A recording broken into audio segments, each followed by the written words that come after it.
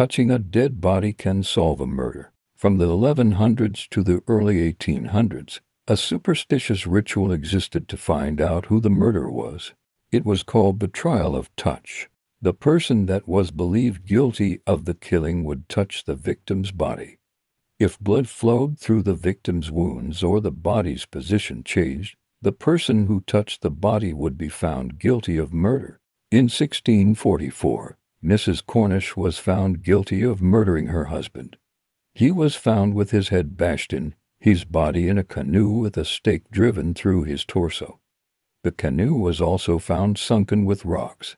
They turned to Mrs. Cornish, who admitted to an affair but denied having anything to do with the death of her husband. But the touch of Mrs. Cornish caused her husband's body to bleed profusely. She was found guilty and later hung. That was one of many examples that